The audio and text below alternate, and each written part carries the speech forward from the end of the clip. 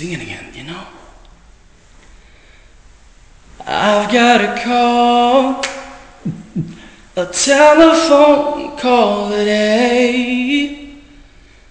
Somebody's offering a job thousand miles away, and I wanna take it. It's the opportunity of a lifetime, but I, hey, how you doing?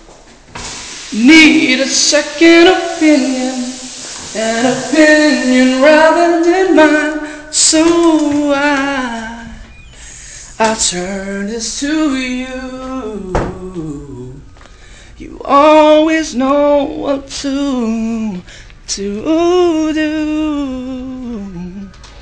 I'm at Barnes and Nobles, trying to be noble and read my books. Yeah, my books.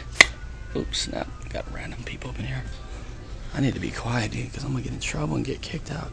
That man in the restroom didn't look too happy. But, uh, oh well. This is random. Hope you guys are having fun.